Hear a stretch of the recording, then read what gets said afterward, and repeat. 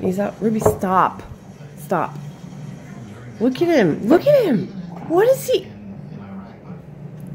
Don't knock on the window. Oh, got an itch. Gotta stop and get that itch. Oh my gosh.